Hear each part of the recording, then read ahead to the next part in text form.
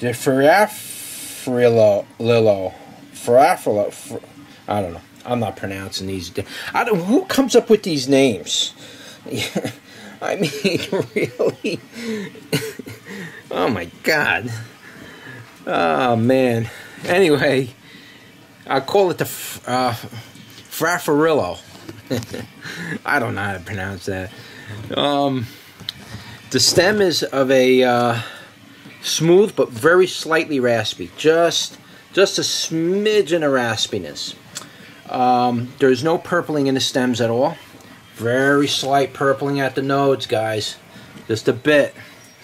Uh, the fruit are quite interesting looking. Uh, almost looks like a, uh, at a young, you know, a young pepperoncini. Almost, I'm not saying it is.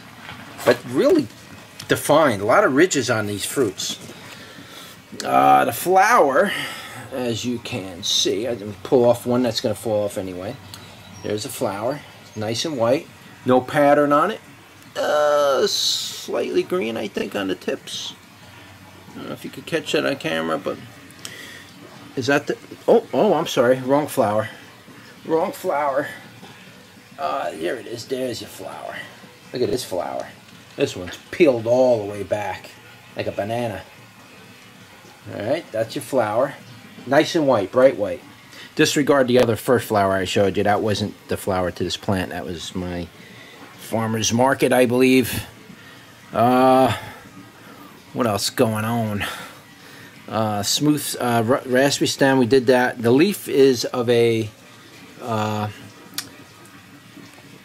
I'm almost going to call this one narrow leaf because most of the leaves look to appear to be narrow, you can see. They don't have that lobe. See, I, I look at the leaves over here and I look for these back lobes to be out. Um, like you can see, uh, there's not many leaves on here. Here's a big one. See, it doesn't have those lobes coming out. Uh, we'll call it we'll call it a broadleaf, you know, or a combination broadleaf narrowleaf. It's kind of like in between it. It's not quite narrow. Narrow is like very pointy almost, you know. But this one's got a little combination of both there.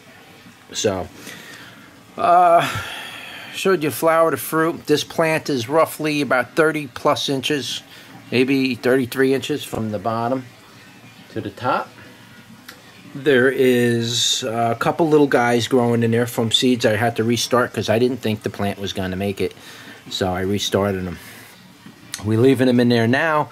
I might bring some of the little ones in for winter. keep them in small pots, winter them over, and I'll bring them out next year.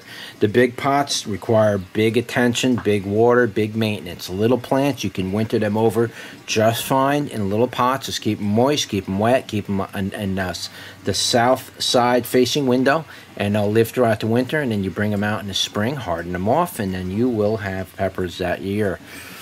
All right, so uh, that's it, guys. All right, that's the Faffarillo.